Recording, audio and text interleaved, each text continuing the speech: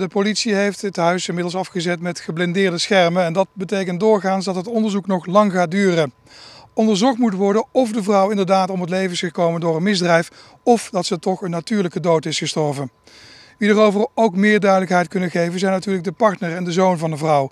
En zij worden op dit moment verhoord door de recherche in Breda.